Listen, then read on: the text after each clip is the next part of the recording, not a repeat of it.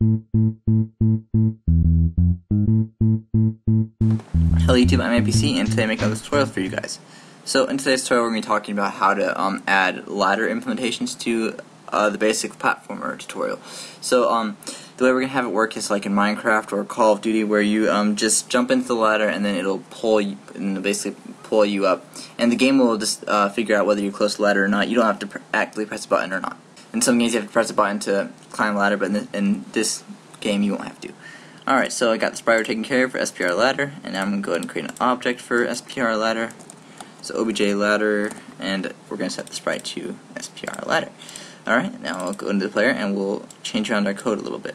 In the creation event, I'm going to create a new variable called ladder equals true. Alright, now in the step event, I'm going to um, add a few more lines of code to check if we're um, colliding with ladder or not.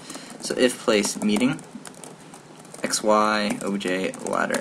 So xy means it's happening right here at these coordinates where this player is, and obj ladder is the object we're checking for. So now in between in between these uh, uh, brackets, um, we're going to type down ladder equals true.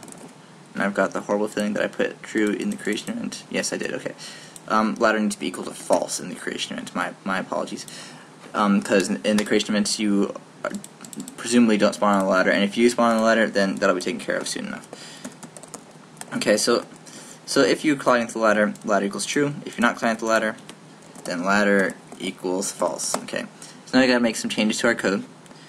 For gravity, we only want the gravity to um, turn on if, uh, or we only want it to work the way it does if gravity equals false. So I'm going to say if, or yeah, if uh, ladder equals false, equals false, true. Um, I just said if gravity equals false, but if um, ladder equals false, then we want it to occur as usual. But as it is, um, if ladder equals true, then we want to do something different. We want y plus equals 4. Okay? And then for jumping, we don't want to jump if ladder equals false. So in ladder equals false. So, so, that way we won't jump into the ladder and won't get any weird physics that way. Okay, and now I'm gonna do some more code for climbing the ladder. Um, first off, you need pressing up button. So if keyboard check vk up. Okay, so if you're pressing up button and ladder equals true, meaning you're able you're on a ladder, you're able to climb a ladder, then I want y minus equals 12. That might be a little bit fast. Let's try 8. Okay?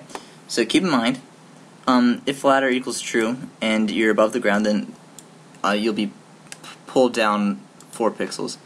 But we're being pulled up 8 pixels. So we're going upwards, we're moving up up at 4. And when we move down, when we when we go down again, be, we'll be pulled down at 4.